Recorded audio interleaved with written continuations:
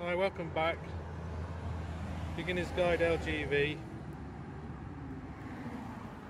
Where is the bonnet release catch on the Renault T Series trucks? So come around the front, get yourself in the middle,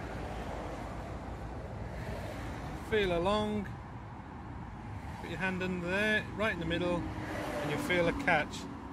You just pull it as you're standing in front of it from right to left and it just releases. I'll show you where it is. Just there. And you just pull it across and it releases. So there it is. Right in the middle. Right in the middle. And then just pull. Also, if you want to uh, wait for the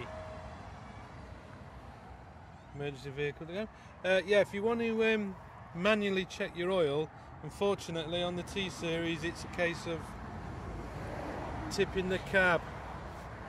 Yep, tipping the cab. That's great, isn't it? Absolutely great. But never mind. Um, hopefully the electronic sensors are accurate. But yeah, on the uh, the T series, that's uh, that's where you'll find it, mate.